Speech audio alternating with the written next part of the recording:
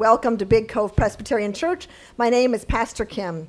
We are worshiping this morning. It's Easter morning, and there is joy in the air. There's joy outside here, too, friends, but a lot of pollen as well, just so you know, okay? We're rubbing a little eyes and a little sneezy here, but it's all good. What we'd like to say is that this is an Easter day for us and it's morning. But you at home, friends, you might not be watching today. You might be watching tonight or the next day or the next day. It doesn't matter. We're just sending you Easter blessings. And now let us begin our worship. Don't you just feel the presence of the Lord in here today? It is a special place. Join me in the call to worship in your bulletin. Christ is risen. God's steadfast love endures forever. Death never gets the final word. God's steadfast love endures forever. Rejoice in this day of salvation as God's steadfast love endures forever. Christ is risen, right? Christ is risen indeed. Let us rejoice and be glad this holiest of days.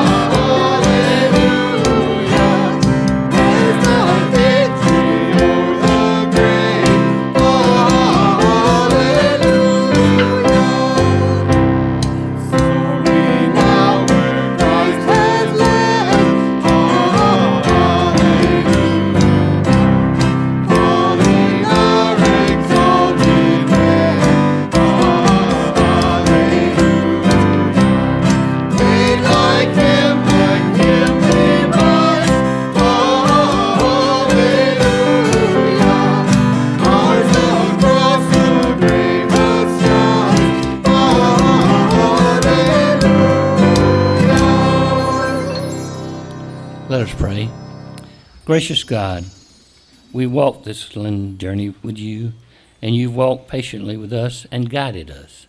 We learned how to connect with you, heart to heart, and now here we are at your open tomb. This day, as we gather to celebrate the joy of Easter, let us rejoice in being your Easter people. Amen. It is right and it is good to share ourselves with God in many different ways. Sometimes we share ourselves with song, sometimes we share through prayer, and sometimes we share through just telling God, oh my goodness, we're sorry. And that's what we're going to do right now. Join with me in your bulletin with the We Share with God section. Living Lord, when we stand before the empty tomb, we don't always feel the joy of resurrection. We sometimes feel fear, doubt, and distrust especially when the world feels chaotic and we witness violence instead of the peace of your resurrection and life. We feel empty. Forgive the fear that paralyzes us at the brink of new life. Forgive our doubt of your love. Forgive our distrust of your surprising, joyous plan. Fill our emptiness with your glorious light. Raise us to abundant new life for the glory of your name. Amen. Friends, I don't know about you, but even on Easter Sunday, I still think about the news and what's been on the news and how hard it's been constantly to live in a state of unrest and violence. And it gets very hard, I think, sometimes when we have all this around us to feel the love of Christ enough to share it. Sometimes it just burdens us. And you know why? Because we're on overload, right? One more thing, just one more thing. It feels like overload. So on this Easter Sunday, on this Easter Sunday, God knows how hard it has been for us. And God understands. And what He did for us is incredible. He gave His life for us. So by His grace, every day, all day, backwards and forwards, we are redeemed by His grace. Amen. Let's give thanks.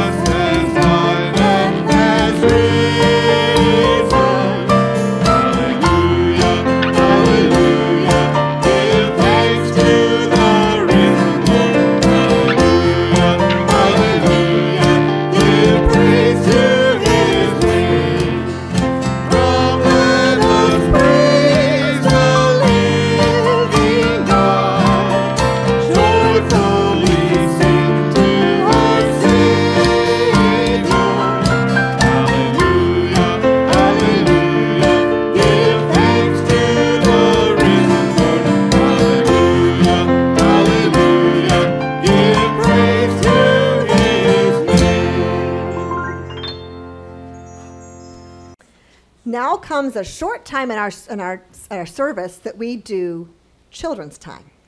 Anyone who wants to come up, come up. If you don't want to come up, that's okay. I can do it from a distance. Come on up if you want to come up. I'm going to do it back here, which is unusual, but I need a table. Come on up. Frankie, you coming up? Hey, Frankie. Roger wants to come up. Roger wants to come up, I know. Roger always wants to come up. That's okay. Come on up here. Hey, Brinley. Hi, sweetie. Come on up. You can just stand right here next to me. Or, come, come on up. I'll come up here. I want to see. Oh, it's okay. You can sit down. I want to see. I want to show you this. Look at this. That's a piece of paper, right? Okay, that's good. That's good. How many of you share things? Do you share anything? Do you share? What do you share, Frankie? Um, toys. Toys. You share your toys. That's wonderful. What do you share, brother? Toys. Your toys too. And what? What do you share? Do you share something, Hayden? You don't share? Not a good sharer, huh? That's okay. You'll learn how to share soon. Guess what else we like to share? Love. How do you share love? Do you give hugs? You don't give hugs? I bet she does give hugs. I like to give hugs to share love, right? And today we're talking about God and God's love. And so, you know what? How we share God's love? There are a lot of different ways, but we're going to show you a way that we can share God's love all by ourselves first. Okay, which, which color do you like first? Do you want yellow, red, green, or blue? I want blue. You want blue, all right? This is Frankie's color. Now, if I spill on these cloths, Kathy will not be happy with me. All right, this is Frankie. And what's happening? Can you all see that? Is it kind of spreading a little bit? It's spreading a little bit, right? Can you see it spreading just a little bit? Not a lot, but a little bit. That's you sharing love. What color do you want, Brinley? Red. Okay. Let's see if Brinley can share love. That's two. Hmm.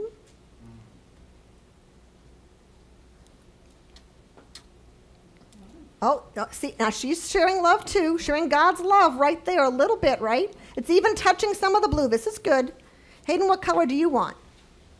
Do you like green? Like green? Okay. You like green. Let's do a couple of green here. This is Hayden, Hayden. Look at this, look at this, look at this. Oh, see, you're spreading a little bit. Green's kind of stubborn. Green's a little stubborn. Now, guess what we're going to do? This is us and how we share. Now, look at this. This is God. Did you know that you have a little tiny piece of God inside all of you? Did you know that? It's called the Holy Spirit and it lives in us. It's a way that helps us to remember to be good to people and be kind. But this is the Holy Spirit. And when the Holy Spirit helps us, watch what happens.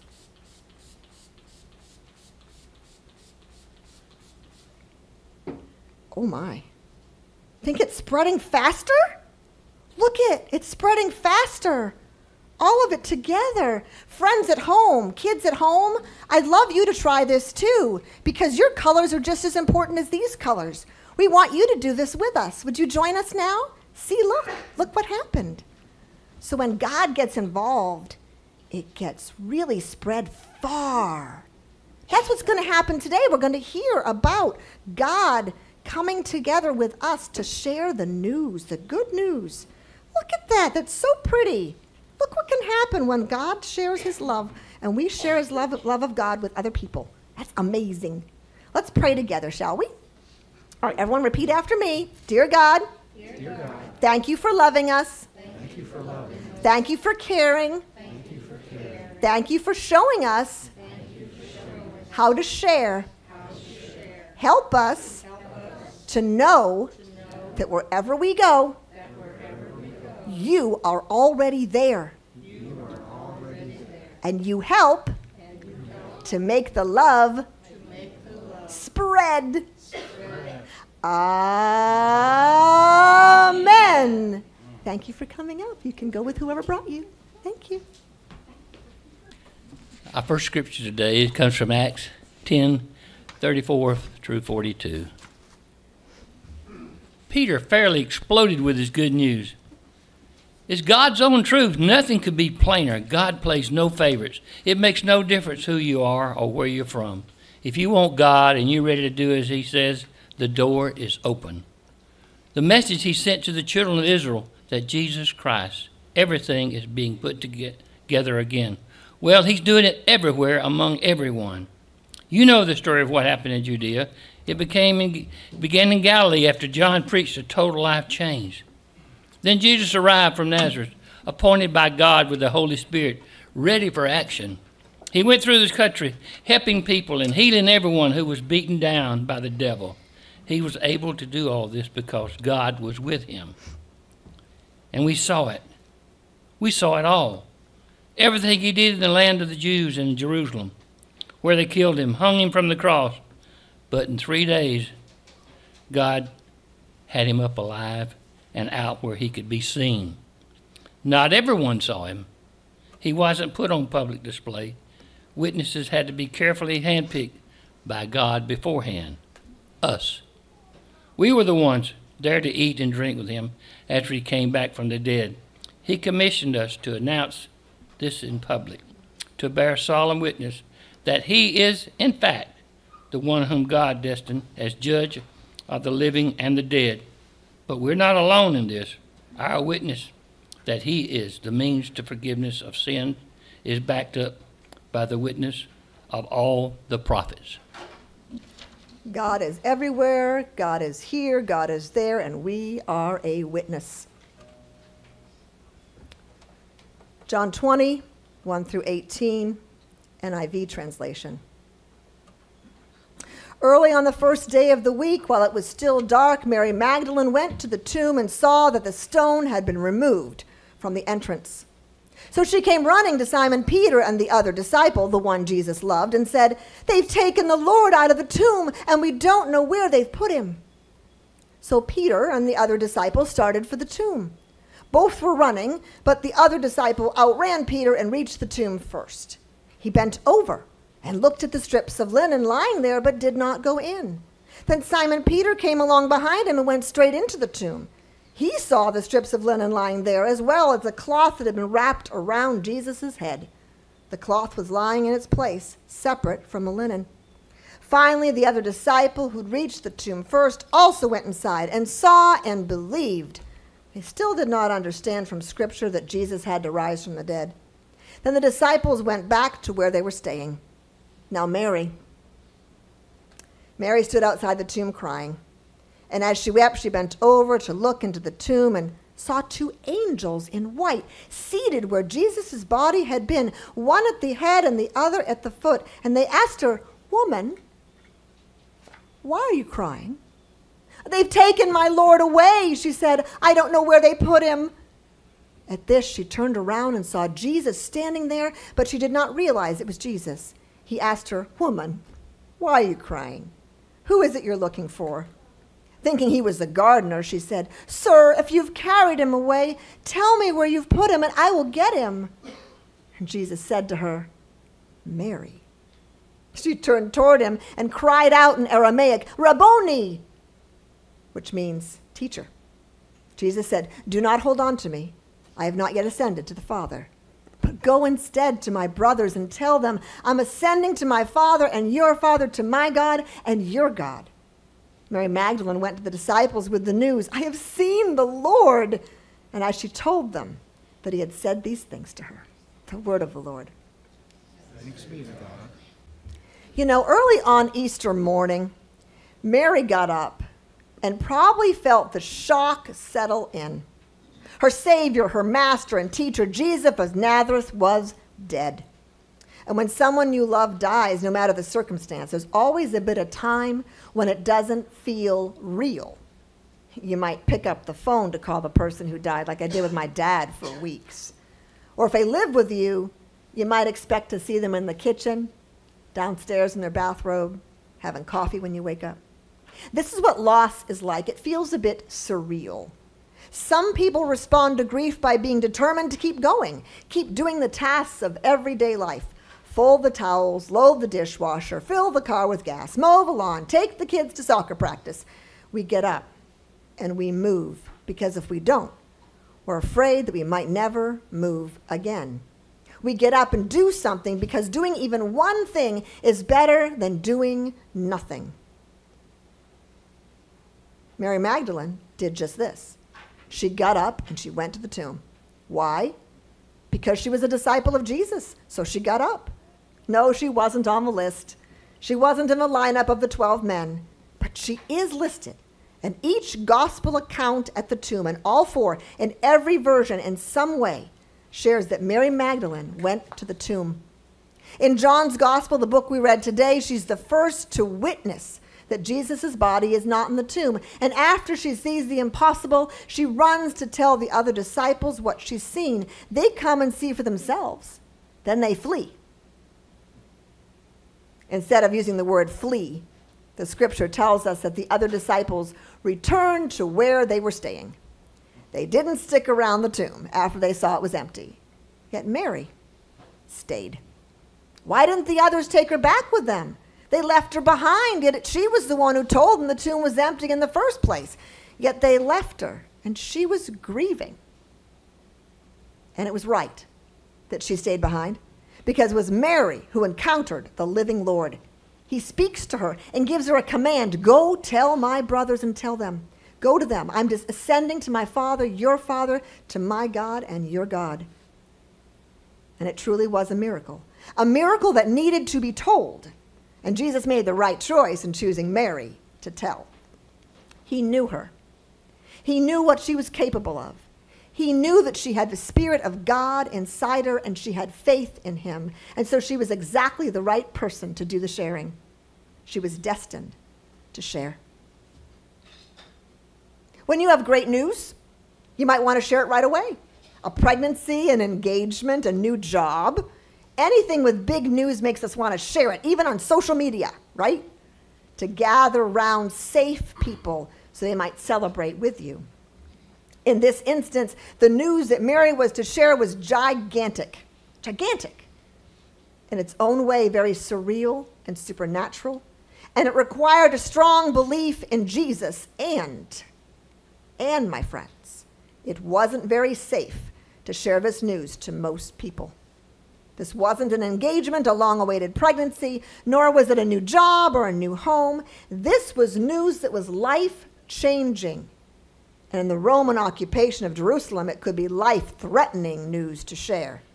This is why God chose Mary, Mary to share this news. She was steadfast, she was intelligent, and she was willing to be part of God's plan. Willing to share a part of God's plan. What does that look like today? Just simple sharing. The children today learn that when they share God's love, if they do it alone, the news will spread a little bit. But if they share about God's love knowing, knowing that God is in them and out there just waiting for an opportunity to step in, that the holy is already there before we even arrive, then like the water on the paper, the good news spreads and spreads and it bleeds just beautiful colors. Do we stand on the street corners and yell out that we're all sinners? We need the love of God to repent? Mm, probably true. Maybe not a good way to win friends and influence people.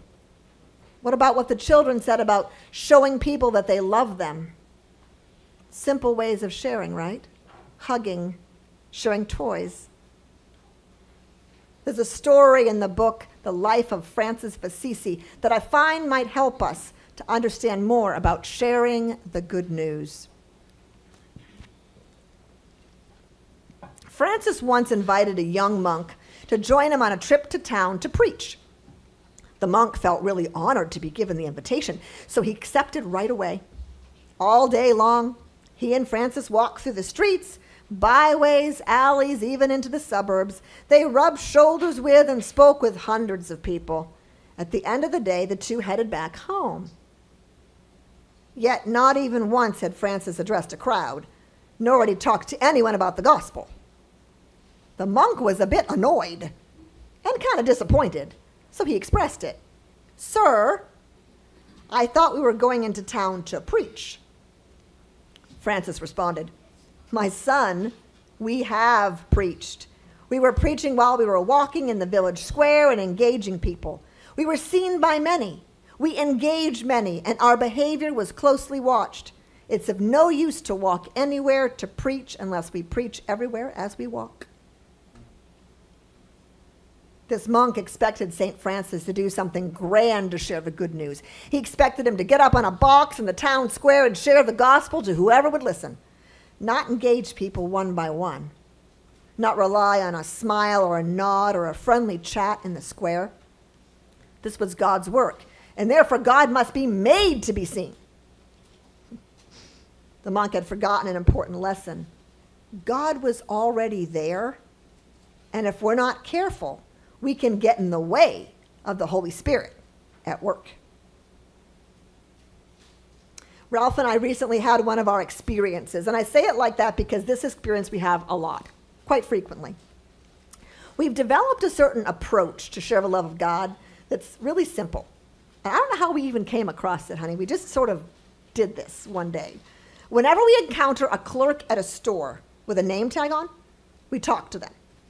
Now, if the name on the tag is a common name like Mary or Jane, we say, Oh, I love your name. Oh, and I'll never forget it because it's my daughter's, aunties, uncles. There's always a name that's common of someone we know. And we make a connection every time.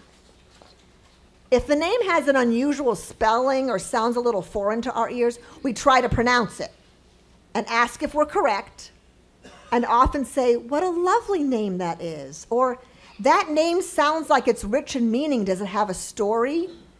And then we ask this clincher, so interesting, Do you like your name? This really begins a great conversation. We don't find too many that don't like their name, but occasionally we do, and then we get a story behind it. Ralph and I asked a question about a name last week in Costco. And as we're leaving, you know, they check your, your receipts. We always visit with the people as they check our receipts. And this woman had my name. So it was really easy to engage her. I said, Oh, I see your name is Kimberly. Is it spelled with an L Y or an E Y? We heard back, No, no, my Kimberly is spelled with an E E on the end. And this started a really great conversation and just a shared connection that was beautiful. You see, like St. Francis, this method does not require a soapbox in the square, just simple, honest sharing and conversation with the opportunity and space, friends, for the Holy Spirit to be at work in the interaction. We don't know what God's going to do next in that conversation, and we need to give space for the Holy to do that work. And names are important. Jesus called Mary by name, friends. He called her by name at the tomb. He recognized her. He called out to her. And then he tasked her with one of the most important jobs in her life.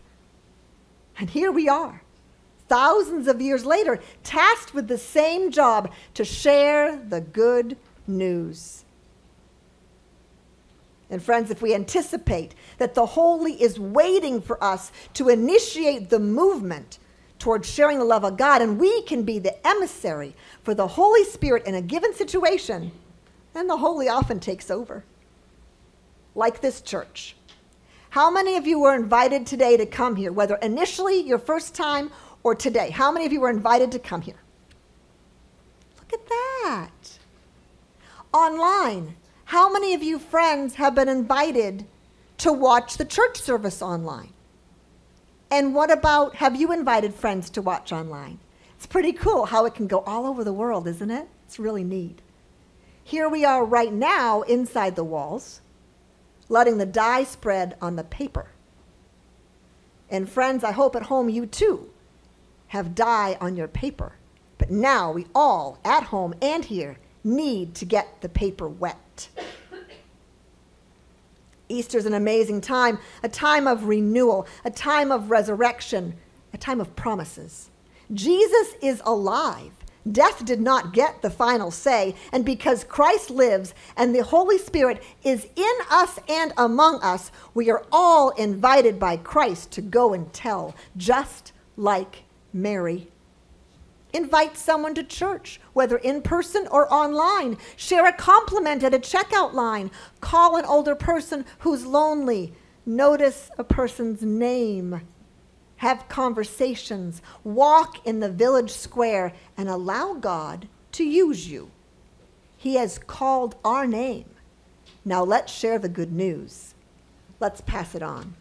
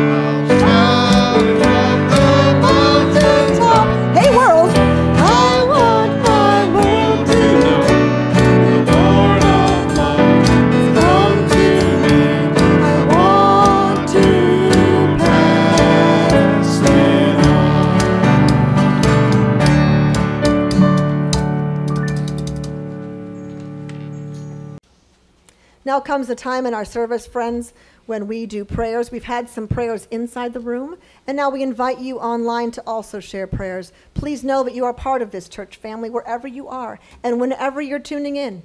It could be it could be today, Easter Sunday, it could be 3 days from now and it doesn't matter. We want you to know that you are heard. And please type in your prayers to me, pastor.bigcovechurch at gmail.com. Let us go to the Lord in prayer.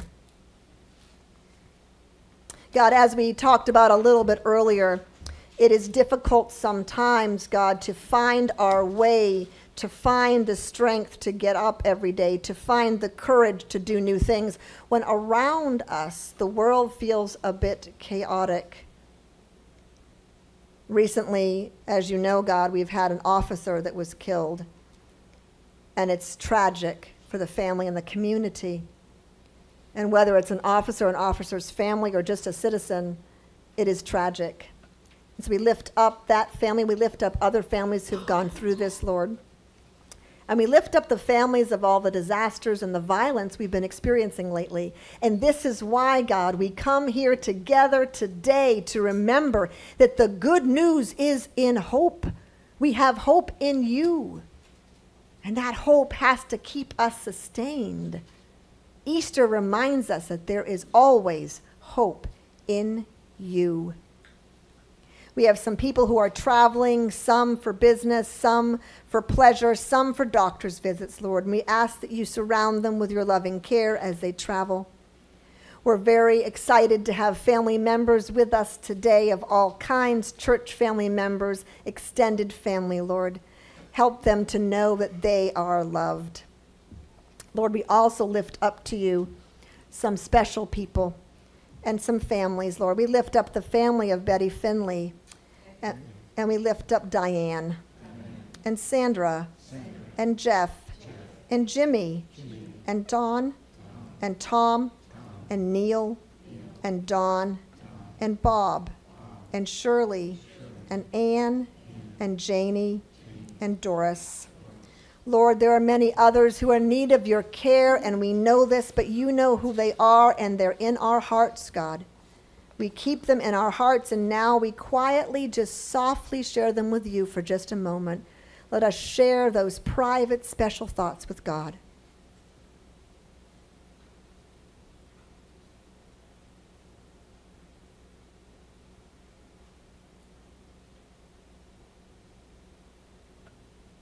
Lord, you've taught us so many things. You've taught us so many things, including how to pray. And Lord, there are people in this room who pray this special prayer in many different ways. And you like to hear it all, don't you, God? And we know that. So if you're a debtor or a trespasser or a sinner, it doesn't matter. Let's all just share with God what's in our hearts with the Lord's Prayer. Our Father, who art in heaven, hallowed be thy name. Thy kingdom come, thy will be done, on earth as it is in heaven. Give us this day our daily bread, and forgive us as we forgive. And lead us not to temptation, but deliver us from evil. For thine is the kingdom, and the power, and the glory forever. Amen. Just like the disciples long ago, we peer into the tombs of our hearts. So many things fill our inner tombs, even things that we don't necessarily want there. We want to be resurrected people who give abundantly as followers of Christ. So let us now share our abundance through our tithes, offering, and our gifts to God, so that me, we may shine God's light.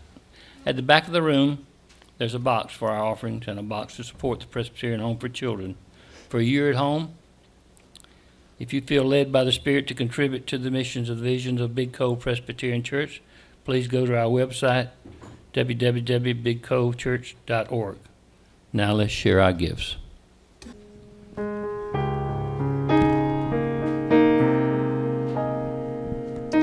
Well, good morning. I am grateful and humbled to be able to share this morning. I'm going to sing a song that I wrote. It's called Save the World. Um, and it's really a conversation that I had with God. Uh, whew, it's been about 20 years. and, uh, you know, just thinking about what He did for us on the cross. And I know we like to generalize it as God saved the world. But do you know if it was just you, or if it was just you, He would have come anyway? Because that would have been just enough to save the world. Lord, I stand amazed at how you'd give up all to save this child who was lost out in the world. I didn't even know I was alone. Lord, I stand amazed that you give up all to come into this world so full of sin. Yet in your death we have a chance to live. When you died upon the cross, you did not count it lost. If only one would come to you, that would be just enough for you to save the world.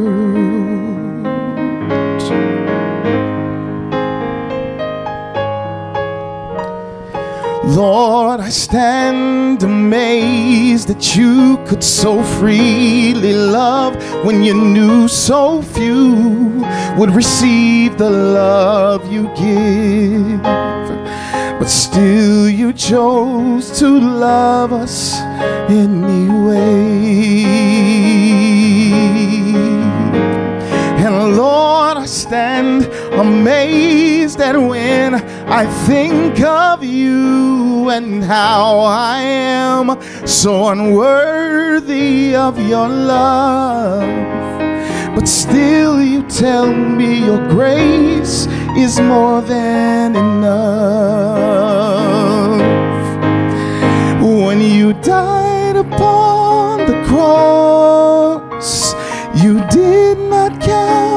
lost. If only one would come to you, that would be just enough for you to save the world for me. You'd save the world for me if I were the only one that would be just enough when you died upon the cross. You did not count it lost. If only one would come to you, that would be just enough for you to save the world.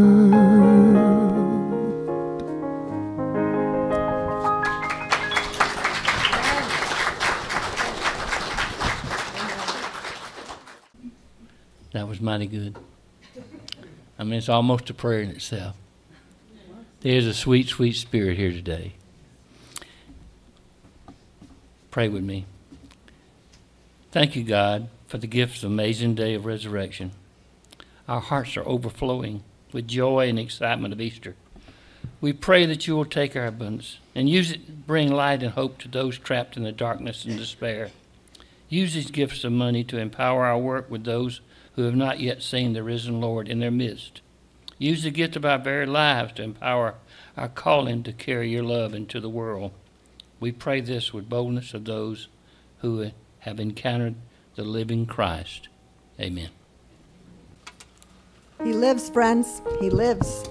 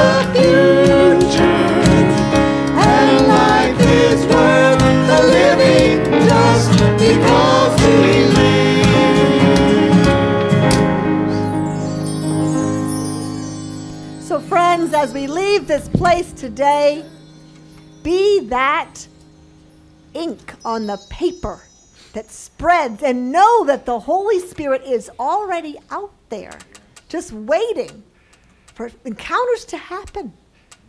So go now knowing that God loves you, that you hold the light of Christ in you, and wherever you go, shine the light. Amen.